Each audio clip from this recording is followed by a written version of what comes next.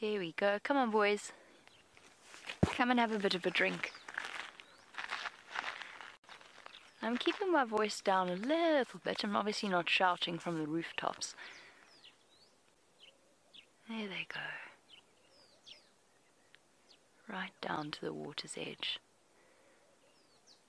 And it's so interesting, you know. Obviously, Rexon uh, is some kind of got some kind of ability to see into the future.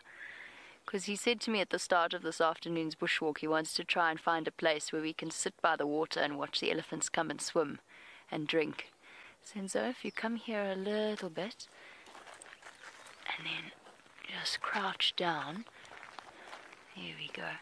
See now they're coming straight into the water. Chasing each other, they're going to play in the water itself.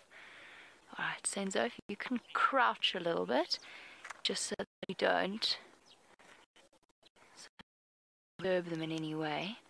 Aldonna, you say it's so wonderful to see elephants on foot. It is, isn't it? It is one of the most amazing feelings in the world, and we're so privileged to have it, to share these moments with them. We're just keeping a close eye on them, making sure that they don't suddenly come and surprise us, but we've actually got the perfect position here. Exactly where Come on, boy. There is actually no greater privilege than to spend time with giants on foot.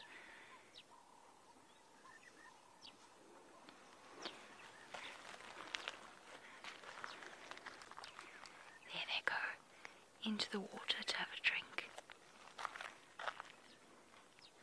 How cool is this? And we've got a view of the elephants splashing about from one perspective on the, the opposite side of the waterhole. And then we've got our position right here on the top of the dam wall watching them